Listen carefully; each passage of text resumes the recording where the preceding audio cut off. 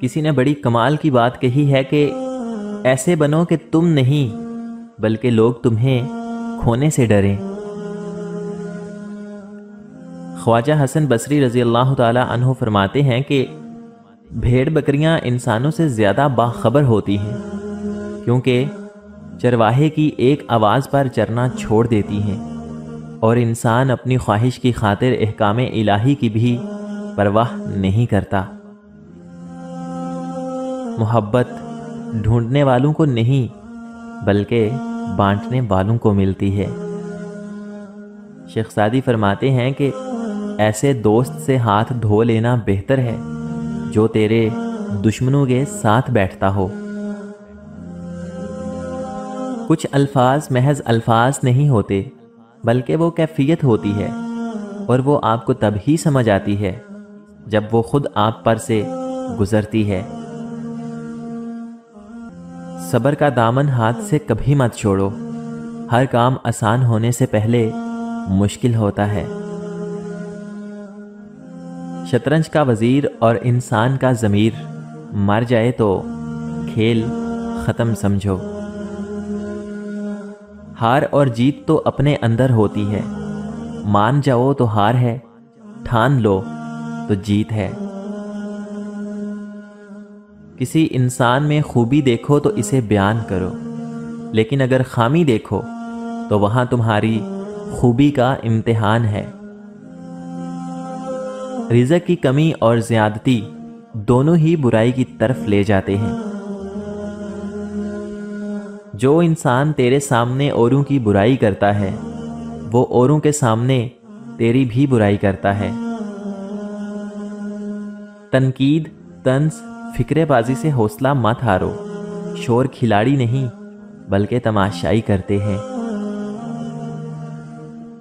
वक्त को पैदा करने वाले को वक्त देकर तो देखो, वो तुम्हारा वक्त बदल देगा। खूबसूरत चेहरा भी बूढ़ा हो जाता है, पुरकशिश जिसम भी एक दिन ढल जाता है। लेकिन एक अच्छा इंसान हमेशा एक अच्छा इंसान ही रहता है। जब तक तुम अपनी खुदी के एहसास में सरे मस्त हो, तुम किसी बाकमाल के कमालात की क्या कदर कर सकते हो? आदमी के जूठा होने के लिए इतना ही काफ़ी है कि वो हर सुनी सुनाई बात पर आराम से यकीन कर ले। झूठ बोलकर भरोसा तोड़ने से बेहतर है कि सच बोलकर रिश्ता तोड़ दिया जाए, क्योंकि रिश्ता फिर भी जुड़ जाएगा, पर भरोसा कभी नहीं जुड़ता। शेख सादी से किसी ने पूछा कि क्या हाल है तो आपने बहुत खूबसूरत जवाब दिया कि अल्लाह ताला की नेमतें खा खा कर दांत टूट गए, मगर ज़ुबान उसकी नाशुक्री से बास नहीं आती। नसीहत वो सच्ची बात है, जिसे हम कभी गौर से नहीं सुनते। और गिबत वो बदतरीन धोखा है, जिसे हम पूरी तवज्जो से सुनते हैं। इंसान पर कई तरह का बोझ होता है। हमारे ऊपर सबसे बड़ा बोझ तकबर का होता है, और हम ये जाने बगैर कि खुदा के नज़दीक कौन बड़ा है और कौन घटिया फैसले खुद ही करते रहते हैं। उम्मीद कभी मत छोड़ना, कमज़ोर तुम्हारे हालात हैं। अल्लाह ताला नहीं।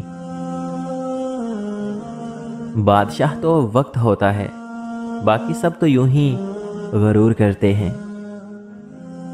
अशफाक अहमद कहते हैं कि जिस मुआशरे में सब चलता है, वो मुआशरा मुश्किल ही से चलता है। अगर आपके अंदर वो आवाज़ मौजूद है, जो पुकार पुकार कर आपको बताती है कि ये चीज़ हलाल है और ये हराम है तो अल्लाह ताला का शुक्रिया अदा कीजिए कि आपका दिल अभी ज़िंदा है। ज़िंदगी वाहिद पौधा है, जिसका बीज ज़मीन के ऊपर और फल ज़मीन के नीचे मिलता है। बहुत से दर्द हैं जो सह रहा हूँ मेरे खुदा। बहुत सी बातें हैं जो तुझसे अकेले में करूँगा। कभी कभी दिल की बात साफ़ साफ़ बता देनी चाहिए, क्योंकि बता देने से फैसले हुआ करते हैं और ना बताने से फासले।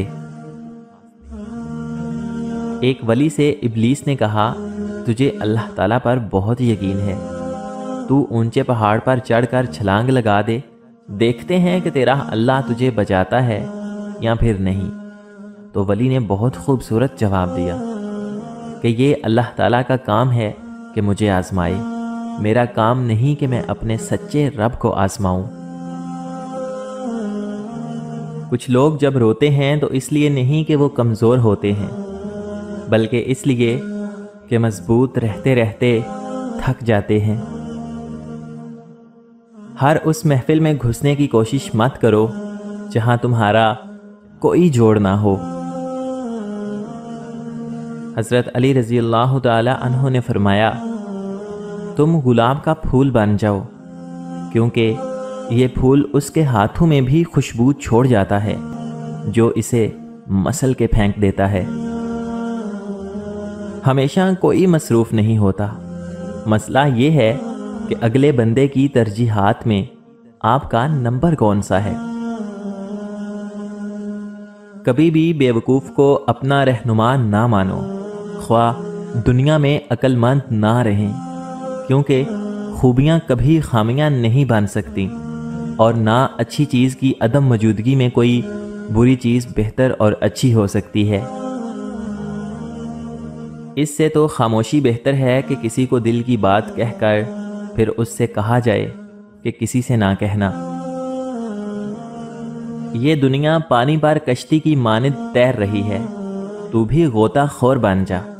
ताकि गरक ना हो जाओ। अजीम हैं वो लोग जो दूसरों के आंसुओं को मुस्कुराहट में बदलने का फन रखते हैं। खुशियों का ताल्लुक आपके हालात से नहीं, आपके फैसलों से है। दुनिया में आना आसान है, लेकिन इससे छुटकारा पाना बहुत मुश्किल है। मोहब्बत और दोस्ती।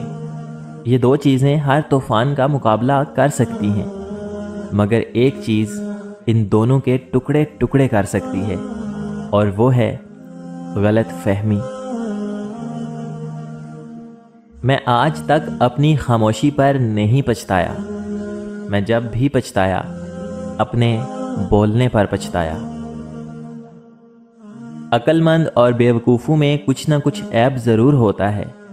अक्लमंद अपने ऐब खुद देख लेता है और बेवकूफ़ों का ऐब दुनिया देखती है। ज़िंदगी में ऐसे लोग शामिल करो जो आईना और साया बन के साथ रहें, क्योंकि आईना झूठ नहीं बोलता और साया साथ नहीं छोड़ता। तनकीद के लिए इलम का होना ज़रूरी है, जबकि नुक्ता चीनी के लिए जहालत ही काफ़ी है। एक आदमी ने किसी बुज़ुर्ग से पूछा, मेरा अल्लाह ताला उस वक्त क्यों नहीं सुनता जब मैं माँगता हूँ? तो बुज़ुर्ग ने मुस्कुराकर कहा, वो तेरे गुनाहों की सज़ा भी तो उस वक्त नहीं देता जब तू गुनाह करता है। बुज़ुर्गों से सुना है कि अगर तुम सुनो कि पहाड़ अपनी जगह से हिल गया है तो तुम इस बात का यकीन कर लेना, मगर किसी की फितरत बदल गई है। उसका यकीन कभी मत करना, क्योंकि आदात बदल सकती हैं, मगर फितरत नहीं। दोस्त वो है जो दोस्त का हाथ उसकी परेशानी और तंगी में पकड़ता है। अपने किरदार पे डालकर पर्दा इकबाल, हर शख्स कह रहा है, ज़माना ख़राब है। इंसान की इंसानियत तब ख़त्म होती है जब उसे दूसरों के दुखों पर हँसी आने लगे। इस्लाम ने औरत को कैद नहीं किया, बल्कि हवस परस्तों की नज़रों से महफूज किया है।